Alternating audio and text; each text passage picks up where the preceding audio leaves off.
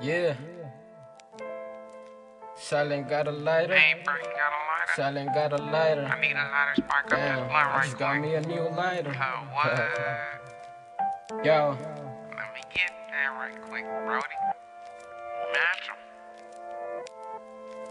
Yo.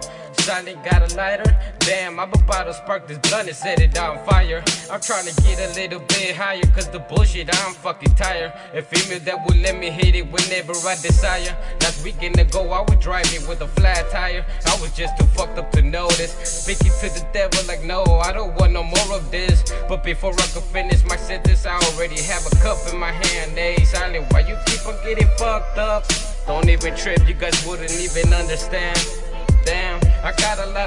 Going through my mind. Got a lot of problems and questions, but the answers I can never find. I wanna speak to the Lord, but He never replied. I only hear the older heads telling me that they gotta stay on my grind. My shit, you gotta rewind. I kick it with them fools that are quick to do crime. Silent got a lighter. Silent got a lighter. Silent just got a new fucking lighter.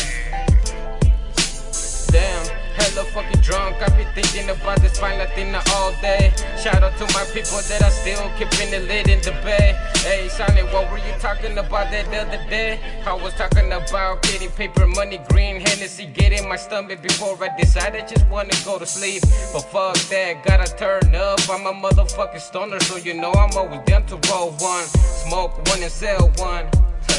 Yo, check it. I'ma light it up, really not giving up fuck. Cause there's lean in my 7 up down. I stay chipping and there's like seven more blunts. Damn, I keep getting fucked up out of my mind. In my own little world. You can never trust a homie, not even a fucking girl. I was brought up alone in this world, so that's how I'ma die.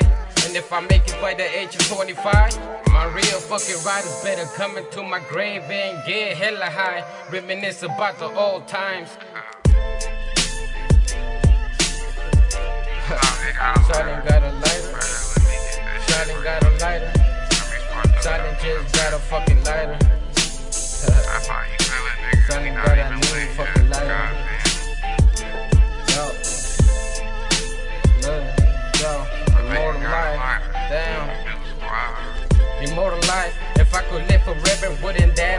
bitch? Having gone through the same shit all over again. Different types of females telling you the down to the end.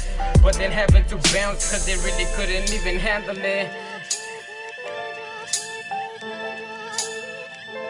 Oh, yelling out here, nigga. New squad.